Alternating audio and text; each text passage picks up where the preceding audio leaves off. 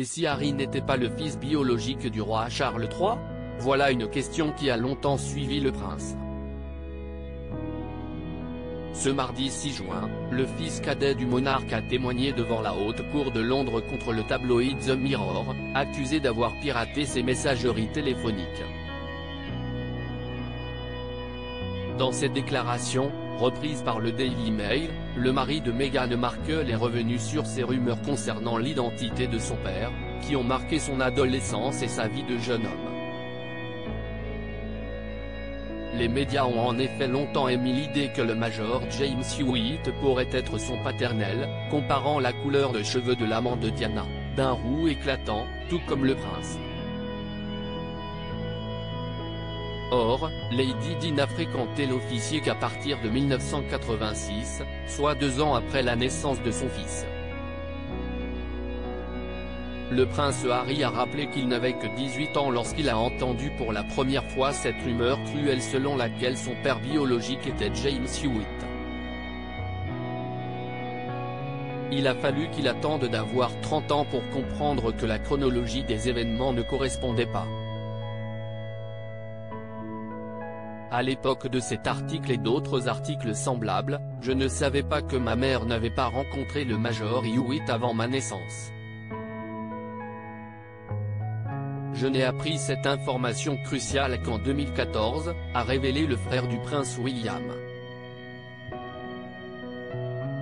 Sur Twitter, le journaliste spécialiste de la famille royale Phil Dampier a rebondi sur le temps qu'il a fallu au père d'Archie et Lilibet pour réaliser que Charles était bel et bien son père. Si vous croyez que le prince Harry n'était pas certain que James Hewitt n'était pas son père avant ses 30 ans, vous croirez littéralement n'importe quoi.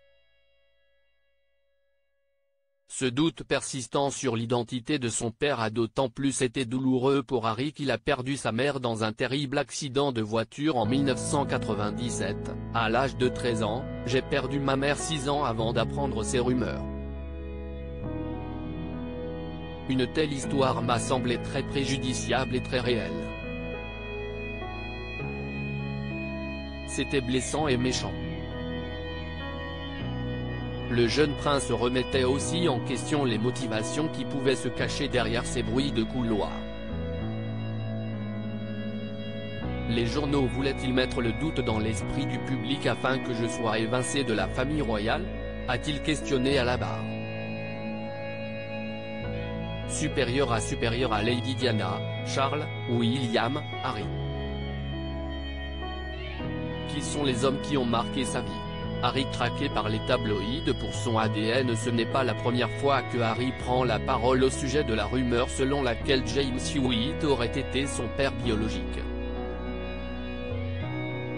Dans son autobiographie intitulée Le suppléant, publiée en janvier dernier, le duc de Sussex était revenu avec ironie sur les hypothèses qui ont vu le jour concernant sa naissance, la blague était sacrément drôle étant donné la rumeur qui circulait à l'époque sur le fait que mon vrai père était l'un des ex-amants de ma mère, le major James Hewitt, avait-il écrit. Il avait par ailleurs dénoncé les pratiques de certains journalistes de tabloïds, qui avaient été jusqu'à chasser son ADN pour le comparer à celui de James Hewitt et prouver leur filiation. Crédit photo, agence.